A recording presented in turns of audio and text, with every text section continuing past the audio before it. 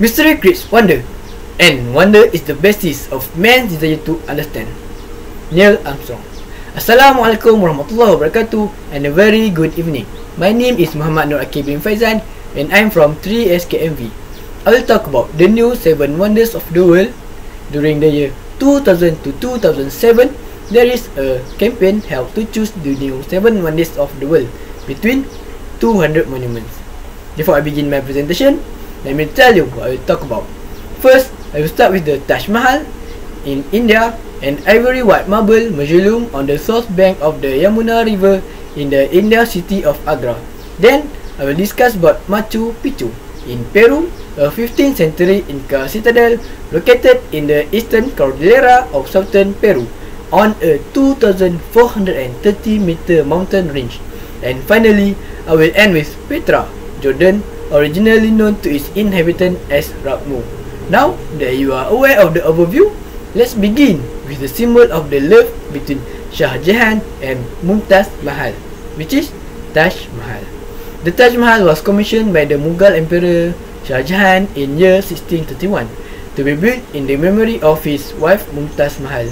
His wife died on June 17 that year when giving birth to their 14th child, Gauhara Begum. Taj Mahal is also a house to the, of the tomb of Shah Jahan and his favorite wife. The tomb is the centerpiece of a 17 hectare complex which include a mosque and a guest house. The second wonders of the world is the estate of the Inca Emperor Pachacuti, the Machu Picchu. The estate was built around the year 1415 but abandoned in a century later at the time of Spanish conquest. But it was not known to the Spanish during the colonial period and remained unknown to the outside world until Hiram Begum, an American historian, brought it to the international attention in the year 1991. Machu Picchu was built in the classical Inca style with polished dry stone walls. Its three primary structures are the Intihuatana, the Temple of the Sun, and the Room of the Three Windows. Last but not least, I will talk about an Arabian historical and archaeological city, Petra. The city is famous for its rock-cut architecture and water conduit system. For its water control, an excavation have demonstrated that it was the ability of the Nabateans to control the water supply that led to the rise of the desert city creating an artificial oasis. The area is visited by the flash floods, but archaeologically, evidence shows that the Nabateans controlled these floods by the use of dams, system, and water conduits. This innovation stopped water and prolonged periods of drought and enabled the city to prosper from its seal. The access roads to Petra.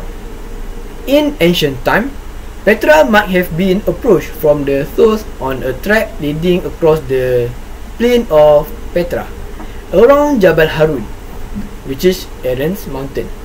The location of the tomb of Aaron said to be the burial place of Aaron, the brother of Moses.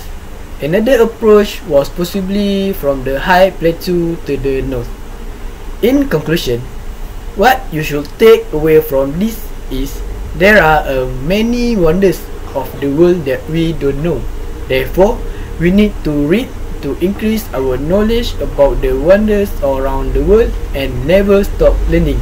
This is because the river of knowledge has no depth. Thank you and Assalamualaikum. That's all from me.